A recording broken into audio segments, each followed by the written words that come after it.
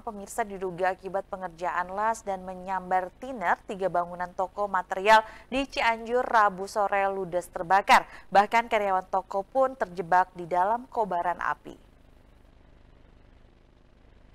Beginilah api yang terus membesar membakar tiga bangunan toko material di Jalan Raya Siliwangi, Kecamatan Cianjur Kota pada Rabu sore. Empat mobil pemadam kebakaran diturunkan untuk memadamkan api.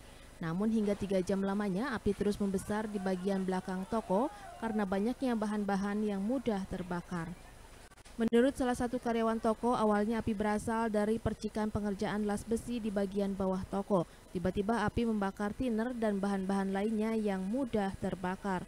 Warga juga melaporkan adanya karyawan toko yang masih berada di atas diduga terjebak di dalam kobaran api.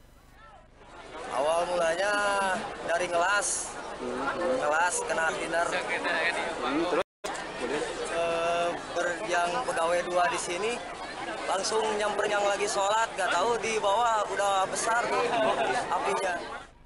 Sementara itu, petugas pemadam kebakaran yang mendapat laporan tersebut langsung mencari karyawan toko yang terjebak. Namun api yang masih membesar, petugas belum bisa menemukan karyawan yang terjebak api. Jadi ini nunggu padam yang ujung sini nunggu padam.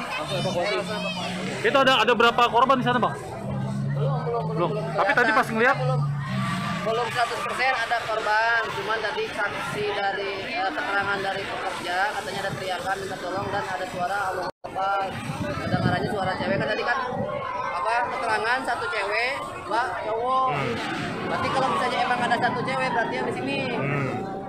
Petugas nantinya akan melakukan pencarian ke dalam toko setelah api padam dan dilakukan pendinginan untuk memastikan keberadaan korban.